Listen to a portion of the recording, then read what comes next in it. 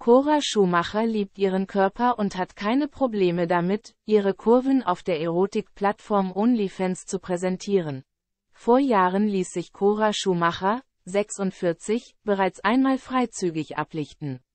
Kurz nach der Scheidung von Ralf Schumacher, 47, im Jahr 2015 erschien die Moderatorin in einer Ausgabe des Männermagazins Playboy.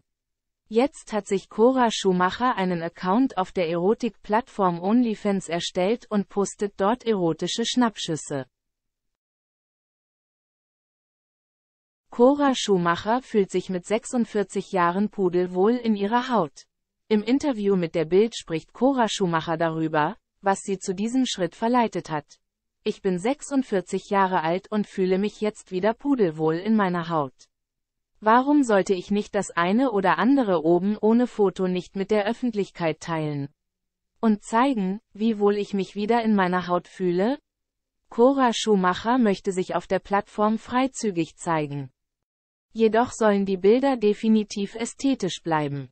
Sie gibt zu, dass sie auch manchmal bei den Bildern etwas nachhelfe. Ich stehe wenigstens dazu und lege mir auch mal einen, auch mal öfter einen Filter auf, wenn ich mich nicht gut fühle. Wofür sind die denn sonst da? Cora Schumacher. Wieso geht das bei Männern und bei Frauen ist das wieder mal tabu?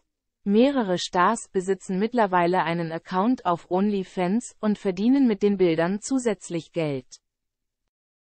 Um die verführerischen Bilder von Cora Schumacher zu sehen, muss man für das monatliche Abonnement 29,99 Dollar zahlen. Cora Schumacher meint, dass für Frauen ein Doppelstandard gelte. Schließlich zeigten sich Männer ständig und andauernd oben ohne in allen Netzwerken.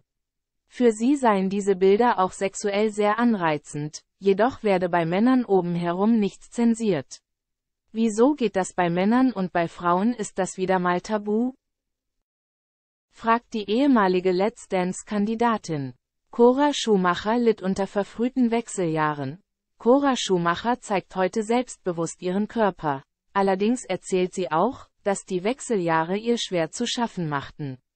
Ich bin verfrüht in die Wechseljahre gekommen, wusste erst gar nicht, was mit mir überhaupt los war, sagt der TV-Star. Sie sei auseinandergegangen wie eine Quarktasche und habe sich gefühlt wie SpongeBob kurz vor dem Explodieren. Ihr Selbstwertgefühl litt unter den körperlichen Veränderungen und auch emotional ging es ihr nicht gut.